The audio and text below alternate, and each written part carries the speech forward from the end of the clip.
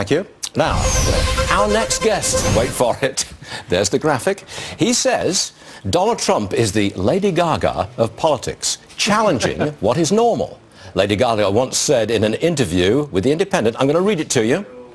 They would say this is too racy, too dance-oriented, too underground. It's not marketable. And I would say, my name is Lady Gaga. I've been on the music scene for years, and I'm telling you, this is what's next. And, and look, I was right. Who would write such a story? Dan Henninger, Trump as Lady Gaga, and he's right here with us this morning. Who did Lady Gaga sound that, like? That will be one of the most read articles ever in the Wall Street One can only hope. What's the association here? Well, I think they have a lot in common. Not least what Lady Gaga was just saying, that everyone thought she wasn't marketable. And she said, I'm the next thing. Well, that's what Donald Trump said about a year ago. They think I'm running the wrong kind of campaign. Well, I'm telling you, I'm going to win.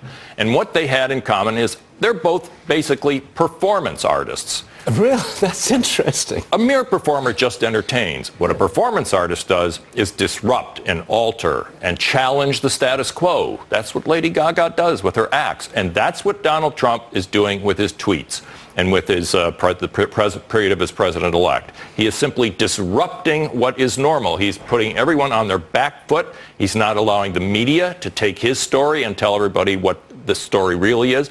He's telling the media, I will be in charge. And that's why he does things like, I have a couple of favorite tweets.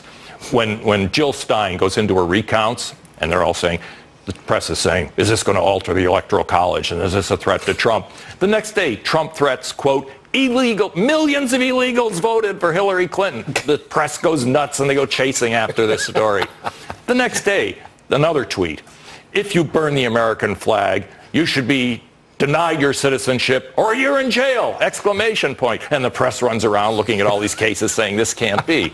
Uh, if the press does nothing but microscopically fact check everything trump says they're going to miss the point. His point is that he is using all of these techniques whether it's tweeting hyperbole sometimes the facts. He's trying to get to point b which i think is where his voters wanted to get and achieve certain things for the country in terms of prosperity right. and I would add uh, suppressing political correctness. But can he keep on being the great disruptor, the performance artist? That's I mean, the, look down the road. Yeah, three years into this, really, and he's still the same guy. Yeah, we could get four years out and saying electing a performance artist was a big mistake, unless his method works. And I think there are liabilities. I mean, he could get to the point where he's thinking he has to put attention on himself all the time. And I suggested in this column we had some other performance artists in the presidency, Franklin Roosevelt, Jack Kennedy, and Ronald Reagan. People who were charismatic, who knew how to go out in public and draw attention to themselves. But they understood there was something out there greater than what they were all about, greater than their public performances. And that's what we're going to find out with Tom, Donald Trump, whether he thinks there is something at stake larger than merely getting all this attention. Donald Trump, Lady Gaga, performance artist, Dan Henninger. Keep watching. That story is going to be read and reread forever.